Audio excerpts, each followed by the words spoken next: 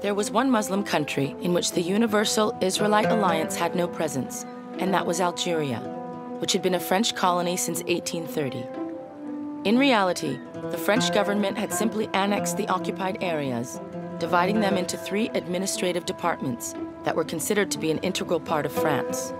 There were two categories of people living in the colony French citizens who came from France, and the so called natives, who did not have the same rights.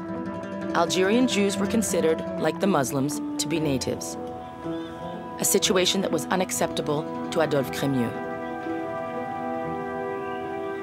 Pour Adolphe Crémieux, euh, il ne faisait aucun doute que le meilleur service que lui, Crémieux, pouvait rendre à sa communauté juive, c'était de les transformer en français.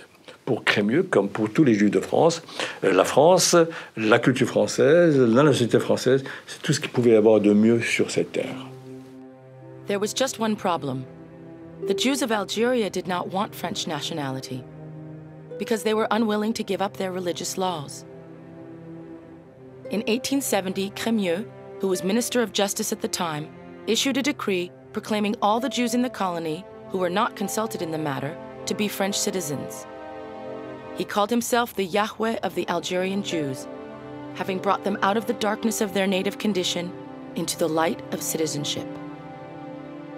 Le décret Crémieux a opéré quelque chose de symbolique, c'est-à-dire qu'il a fait basculer les Juifs d'Algérie du côté des dominants. Les Juifs ne sont plus des indigènes, alors que c'est des autochtones qui passent du côté des dominants, qui passent du côté français, du côté du pouvoir, même symbolique.